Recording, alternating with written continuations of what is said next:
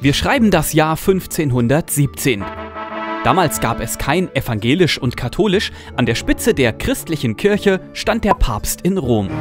Und die Kirche damals brauchte viel Geld, zum Beispiel um neue Kirchen zu bauen. Zum Beispiel den Petersdom in Rom. Eine Idee, um Geld zu bekommen, sind damals die Ablassbriefe. Mit diesen Briefen können Menschen sich oder Verwandte aus dem Fegefeuer freikaufen, sagt die Kirche.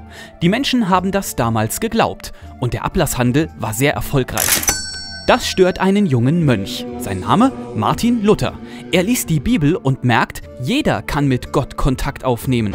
Ohne Ablassbrief und ohne Papst.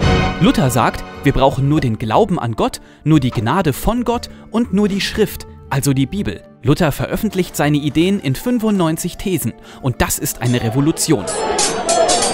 Der Papst war darüber not amused. Er droht Martin Luther, entweder du widerrufst, was du geschrieben und den Leuten erzählt hast, oder wir werfen dich aus der Kirche. Luther weigert sich. Seine Freunde haben Angst um sein Leben und verstecken ihn auf der Wartburg in Eisenach.